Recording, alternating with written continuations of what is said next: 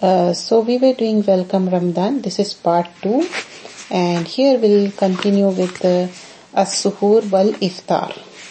So the pre-dawn and fast breaking meals. So here what Ramadan does, it trains us to submit to whom? To Allah subhanahu wa ta'ala. And we all are slave of Allah subhanahu wa ta'ala. And you know, we refrain ourselves from eating and drinking until sunset. He, it also, uh, you know, um, like it's mustahab to eat suhoor. Like, you know, uh, that's uh, before Fajr, we eat suhoor. So there is a hadith regarding that. Abu Darda radiallahu anhu narrated that three things are from the uh, prophethood sunnah. What are they? First thing, to hasten in iftar, opening the fast means when time comes you have to open the fast, not to delay, you know, like if even after azan people they delay and still they don't open the fast. No, it's not so. But not even before, okay? But do it on the time. Don't, mm, you know, delay that. But what about the suhoor? Second thing is the suhoor meal. You can delay. It means in what sense you can delay? Means you have morsel of food in your mouth and you, you want to finish that, that azan is going on, just finish it that. It doesn't mean that, you know, oh, delay in sense you're going to take more food. No, it doesn't mean that. Okay? And, uh, and put the right hand on the top of the left hand. This is uh, in Salah. So this is from Sahih Jami as-Saghir. Suhoor meal for a believer. There are blessing in the suhoor and it is also a sunnah of Prophet wasallam. So we have to do suhoor no matter like, you know, you can drink water or you can have dates, whatever. Like I know that time you don't want to have anything, but it's better, you know, have something because the whole day it has to go. And the most important thing is the, you know, that's the sunnah and that's the barakah. Take the suhoor meal for there is in it much blessing. Means uh, uh, it is a barakah. So Allah subhanahu wa ta'ala is saying there is a barakah in it. This is in Sahih al-Bukhari. So inshallah we should adopt that. No matter how much you eat, but make a niyyah to eat something. Prophet sallallahu alaihi wasallam called Arbaz bin Sariya anhu to join him in eating suhoor with the words uh, like you know Arbaz come to the blessed food Sunan Abu Dawood so here we learn that, you know, it is Mubarak or it has lot of barakah to have suhoor. Suhoor is a blessing from Allah subhanahu wa ta'ala. Abdullah bin Haris narrated from a uh, person amongst the companion of Prophet sallallahu alaihi wasallam that he went, went to the Prophet sallallahu alaihi wasallam while he was sitting and eating suhoor. He sallallahu alaihi wasallam said, this suhoor is a blessing that Allah has given you so do not leave it. This is in Musnad Ahmad. So we, we should eat suhoor. That is a sunnah and it has sunnah as well as it has what? Barakah. So why, why you want to leave the barakah? Miqdam bin Madi Qarib radiallahu anhu reports that the Prophet sallallahu said, you all should make the morning meal, suhoor meal compulsory upon yourself as it is the blessed food of the morning. This is in Sunan an-Nasai. Actually, many people, they think like, you know, before sleeping, they want to eat something and they don't want to get up because they don't want to, you know, interrupt their sleep. That's not right, you know. This is ayyam and madudad, only few numbered days. And this is the time Allah is saying it's a barakah, it's a sunnah. So get up for the tahajjud, do your tahajjud and have your suhoor with the family inshallah. One must have suhoor even if it is a sip of water as I mentioned before. Like you know you can have sip of water or dates, anything you know you can have uh, maybe some protein, whatever you like, but have it because you know uh, if you have dates and protein, this will help you. It will be in your um, tummy for longer time because the whole day it has to go. The by by the time you open your suh, uh, like iftar, it's going to be like eight o'clock. Almost so many hours, you know, you have to spend. The Messenger of Allah sallallahu alaihi wasallam, there is a barakah in eating suhoor. Do not leave it even if one is drink a sip of water. This is Musnad Ahmad. Mercy descends upon those who eat suhoor. Mercy It is related by Ibn Umar radiallahu that the Prophet said, Verily Allah and His angels sent mercy upon those who eat suhoor. Allah is sending mercy those who eat suhoor. So why don't we avail that? Subhanallah. So here when Allah subhanahu wa ta'ala is saying, so inna Allah wa malaikatu yasulluna alal uh, musahirin. So verily Allah and His angels sent mercy upon those who eat suhoor. This means that Allah showers of them His mercy and blessing while the angels pray for the mercy and forgiveness for them. Dates are the best suhoor. Prophet ﷺ said, Ni'am, suhurul mu'minin tamar. Tamar is the fresh dates, you know if you are familiar with the dates, there are different kinds of date and that too, you know, different kinds, taste, color and in uh, black also darker black, brownish black and it's so delicious. It's, and it's very beneficial also. And you remember like um, when Maryam al-Islam was pregnant and um, Allah subhanahu wa ta'ala ordered her, you know, just, um, you know, um, uh, like uh, shake the tree and the dates will fall and you can eat it and it's good for the health and it's mentioned in Quran also dates are good for us. So eat a balanced and healthy meal at suhoor in order to stay active and fresh. Throughout the day you can be active, fresh and able to perform all the fard prayers and all the obli- obligatory rituals and other acts of worship properly. So for fasting person there are two joys. What are they? The one you know, right? The Prophet ﷺ said, the fasting person has two occasions of joy. One when he breaks his fast because of his breaking it and the other one when he meets his Lord Allah subhanahu wa ta'ala because of the reward for his fast. This is in Sahih al-Bukhari. Lisiyamu farhatan. Farhatan, this is dual. Two, uh, two uh, happiness. Farhatan huma iza aftara fariha. You know aftara fariha? You know you're happy when you have your.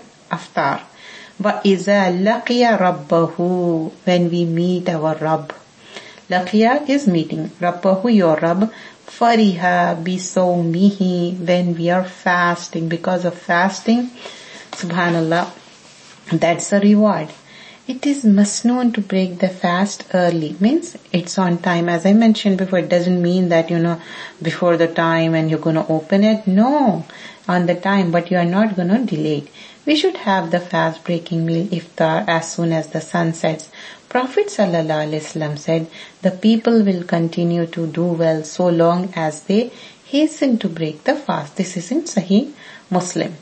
لا يزال الناس بخير ما أجلوا فطرة. The fast should be broken with the dates or plain water. Okay, I hope you understand. There is no such thing like breaking the fast with salt. That is cultural. It's not from the sunnah. Okay. Sunnah is different and culture is different. They are following the culture like, you know, some people, their forefathers, they used to it and they still do it. But what our Prophet, our beloved Prophet ﷺ did, we should do that. What is that? Like break the fast with dates. If you don't have dates, then with the water. Prophet ﷺ said, if anyone of you is fasting, let him break his fast with the dates. In case he does not have them, then with water. Verily water is purifier. This is in Sahih al-Jami. So here it's clearly mentioned ala tamri. If you don't have tamr, then ma'in with the water. Reward for giving food to a fasting person to break his fast. Isn't it? This is so nice, like, you know, being a woman, we get chance to make the food for the others. We feel so happy, isn't it? Like, you know, when you make food and you have that intention, you know, to feed others. So that's so nice. So inshallah we should avail this opportunity. It doesn't mean that you're going to spend hours and hours. Just make two simple meals or good delicious meals or a complete meal and then you can serve to the fasting person and uh, you can invite them and have them in a systematic manner. Prophet ﷺ said, he who gives food to a fasting person to break his fast will receive the same reward. Subhanallah Except that nothing will be reduced from the fasting person's reward. Nothing is reduced. Here, كَانَ لَهُ مِثْلُ أَجْرِهِ It's misl, same ajr. غَيْرَ أَنَّهُ لَا يَنْقُدُّ min ajri siyam. It's not like it's not gonna reduce. It's gonna be same what the fasting person is doing. So I was thinking like, you know, many of us can't fast because of the old age or because of the sickness, because of the pregnancy, nursing and so on and so forth. Why don't we avail this opportunity and grab it? You know, we want ajr, we want more good deed. Isn't it? It's a sale going on. Just avail it, grab it. So things to do, just a reminder, moderation, preparing the food, prepare suhoor and nice suhoor, you know, make sure it has a lot of protein and a lot of, you know, if you're not having that, especially our children, make sure they should have something and we should have something. We want our fasting to be good, inshallah. And also avoid greasy food and you know the food which makes you feel time being full but later on you feel very much hungry. So make sure have a good food and give the leftover food to the needy person. I know in some places it's hard to find out the needy people. So better you can save the food or you can you know give it to your um, uh, neighbors if they are Muslim. I know because in overseas some countries we are not supposed to give like you know uh, what we prepared food we can only give packaged food for the neighbors who are non-muslim so make sure like you know you prepare how much you want don't waste the food and uh, invocation for iftar ذهب زمء بابتلاءة أروقي وثبت أجر إن شاء الله the thirst has gone and the veins are quenched and the reward is confirmed if Allah wills. Sunan Abu Dawood. so here, supplication of those who provide with iftar. You know, you are going somewhere and you want to mm, uh, do the dua. So it's there in the fortress of Muslim. So you could find it there, you know, this is the dua. Aftara indakum siya siya imuna wa akala ta'amakumul abraru wa sallatu alaykum malaika. What is the meaning of this? May the fasting persons break fast with you. The righteous partake in your meals and the angels pray for the blessings for you. This is in Sunan Abu Dawood. So we should make dua, you know, whenever um, we are going and having the food and somebody um, is giving food and we are breaking our fast there, please make this dua. Okay, inshallah. And Ramadan, Shahrul Ghufran. What is Ghufran? It's from Ghafara to the month of forgiveness. Yes. So Allah is most forgiving and merciful. His forgiveness is vast. Have hope and He loves to forgive it. It is His promise that anyone who feels remorse for having sinned and repents sincerely, what is the key thing? Sincerely, shall be forgiven. Allah says in Surah Al-Najm, ayah number 32, الذين يستبين يستنبئون كبائر الاسم والفواحش إلا اللمة إن ربك واسع مغفرا here, allazina yashtanibu is from jam, those who avoid. What they avoid? Kabaira is the major sins. So here, kabaira sins, major sins, on which uh, it, there will be had, major sins. And also fawahish, that is immoralities. And fawahish can be, you know, um, it can be uh, uh, bad language too, bad gestures, behavior or anything, you know, sinful acts. Only committing slight ones indeed. Your Lord is vast in forgiveness. So in the end Allah subhanahu wa ta'ala says, Inna rabbaka vasiyun maghfira. Vast forgiveness. So keep on ask Allah subhanahu wa ta'ala. Allah subhanahu wa ta'ala, please forgive me. Allah maghfirla. Uh, astaghfirullahi atubulay. So different kinds of astaghfar.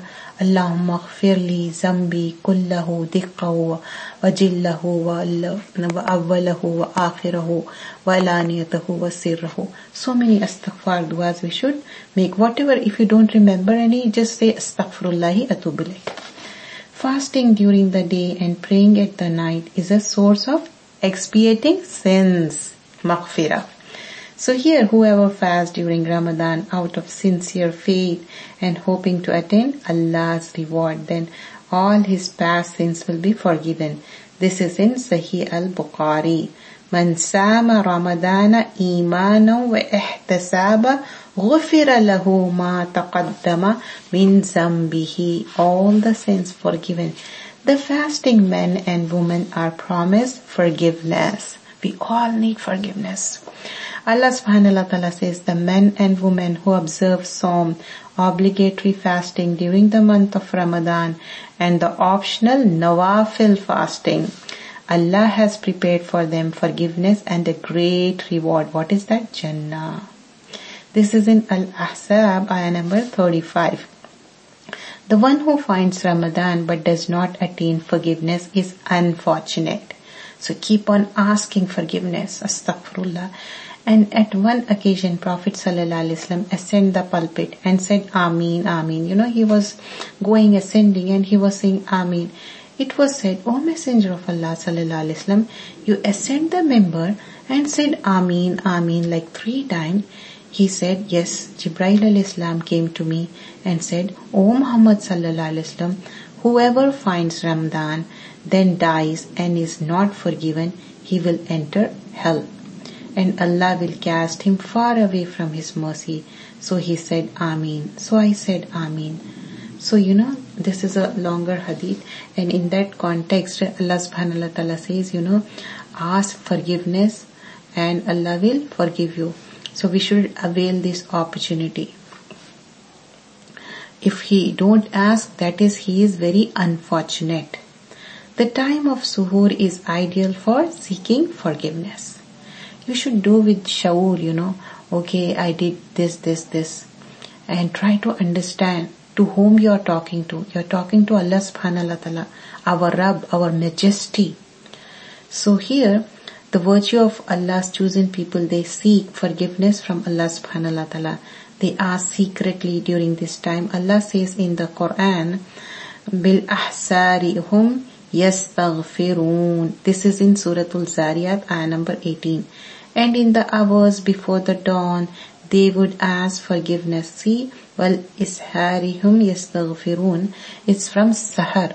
Like, you know, during the time of suhoor, they ask istighfar. They ask forgiveness. So ask forgiveness to Allah subhanahu wa ta'ala.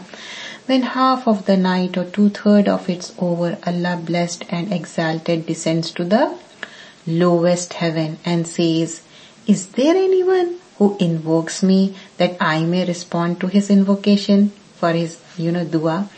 Is there anyone who asks me for something that I may give it to him? Is there anyone who asks my forgiveness that I may forgive him? And Allah continues saying it till its day breaks. Means till the Fajr times. This is in Sanu Sunan al-Darimi. Uh, and here in this chapter, what the things we have to remember? We did for the maghfirah, right? So things we should feel regret for our sins and accept our faults, cry over them and seek forgiveness from Allah subhanahu wa ta'ala. Pray for the forgiveness for all the Muslims, you know.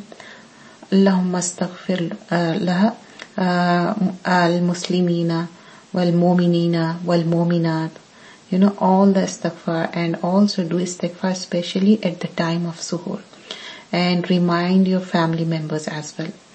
And memorize the words of istighfar at least 70 to 100 times. Inshallah, we're going to learn different types of istighfar, inshallah. So here, the e- easiest way, astaghfirullah al-azim al-lazi la ilaha illahu al-hayyul qayyum wa atubu ilayh. I will repeat again, okay? Two words very easy to remember is Astaghfirullahil Azim. Azim means great. Allazi la ilaha illahu al hayyul qayyum wa atubu ilayh. I seek the forgiveness of Allah, the one besides whom there is no worthy of worship. The living, the eternal, I repent to him. This is in Sunan al-Tirmizi. So here and then what we want to attend in Ramadan, Shahrul Taqwa, month of piety. The main objective of fasting is to acquire لَعَلَّكُمْ تَتَّقُونَ that is taqwa. So here we learn in ayah number 183 Surah Al-Baqarah يا أيها الذين آمنوا كتب عليكم الصيام كما كتب على الذين من قبلكم من قبلكم لعلكم تتقون O you who believe, decree upon you is fasting and it was decreed upon those before you that you may become righteous and we all want to attain taqwa. So try for the taqwa. In order to achieve taqwa, what we have to do? It's not enough just avoiding eating and drinking during the fast, but one should also stay away from all kinds of sins. Okay? If we are uh, able to abstain from the permissible halal food, like, you know, while fasting, then it's even more important to avoid prohibited actions, you know, haram, such as lie, cheating, backbiting, quarrels, negative thoughts, etc. And eating is one of our most favorable pastime, isn't it? Like we are abstaining from eating because we are fasting, which is very difficult to control. You know, sometimes people say, um, hungry, angry, and uh, because of that, you know, but Alhamdulillah, we control our hunger. However, staying hungry is difficult during fasting. In the starting, it will take time, but inshallah, uh, Allah will give you strength and you can overcome that. You know, you overcome and you feel like, you know, good. And I, I feel like during Ramadan time, we have more energy as compared to other days, even though we are fasting. Alhamdulillah. That's the rahmah of Allah subhanahu wa ta'ala. Abu Huraira radiallahu anhu narrated that Prophet sallallahu alaihi wasallam said, fasting is not just abstaining from eating and drinking, but fasting is also refraining from vain talk. What is that? Laghw. And foul or obscene language, you know, using bad words, bad language, bad gesture, or making the actions or so on. Sexual actions, that is rafas, if uh, one of you is being verbally abused or annoyed, like you know somebody is annoying or verbally doing anything wrong to you, what you will say? You should say, I am fasting. And don't reply them. You know, just say, I am fasting and move on. So this is in Sahih al-Targhib. Prophet ﷺ said, some fasting people get nothing this is very scary, you know. People get nothing from their fast apart from hunger and some people who tend to pray at night will get nothing from their standing except sleeplessness. This is in Sunan Ibn Majah. So be careful when you're fasting. We want full ajr, full reward from Allah subhanahu wa ta'ala. Abu Huraira radiallahu anhu narrated that Prophet wasallam said, whoever does not give up lying, false speech and evil action, Allah is not in need of his leaving his food and drink. This is in Sahih al-Bukhari. Likewise, in another tradition Anas bin Malik radiallahu anhu said like Prophet wasallam said, whoever does not stop speaking falsehood, like in, you know, kazib, and acting in accordance with it, Allah has no need of him giving up his food and drink. Don't lie. A mu'min can't be a liar. It is unnecessary to pay attention to the hidden aspects of worship such as sincerity, love, hope and fear of Allah as it's to maintain the physical and obvious rituals. In fact, that, that is meant by achievement of true piety, that is taqwa. So actually what taqwa is, you know, doing the obedience to Allah subhanahu wa ta'ala and abstaining from the haram and all the laghw and also the abusive language, anything which displeases Allah subhanahu wa ta'ala. And what is taqwa? Like, you know, you are uh, taking care of your garments in such a way that you are passing through thorny bushes, but no thorn is getting pierced through your garment. You are taking care in such a manner. So you have to take care of yourself in such a manner that you are not affected by these things and you control yourself and do with the fear of Allah subhanahu wa ta'ala. And uh, remind yourself, you know, whatever you are doing for the sake of Allah, abstaining from food, drink and all the haram things, that is for the sake of Allah.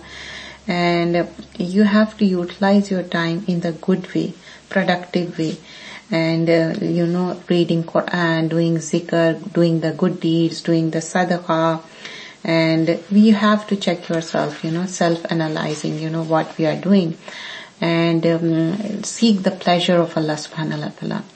Remind yourself every day, like, you know, maybe this is my last Ramadan or maybe this is my last day. We don't know. Allah knows when we're going to die and nobody is guaranteed in order to attain piety, taqwa, supplicate, make dua to Allah subhanahu wa ta'ala. You know, Allahumma inni asaluka al-huda wa-tuqa wal-afafa wal-ghina. It's a small dua. Uh, I'll uh, read the translation and I'm going to repeat it again inshallah. O oh Allah, indeed I ask you for guidance, Allah's consciousness, chastity and contentment. Allahumma means, O oh Allah, inni, indeed I, as'aluka, I ask you. Al-huda, the huda, guidance. But tuqa, you know, um, Allah's consciousness, that is taqwa. And wal afafa is the chastity. And what we are asking, wal-ghina is contentment. So we should be content with what? With, you know, Allah gonna give you uh, whatever you are doing for the sake of Allah have faith with Allah that uh, Allah will be pleased and try to please Allah, not the people. سبحانك اللهم بحمدك نشهد أن لا إله إلا أنت نستغفرك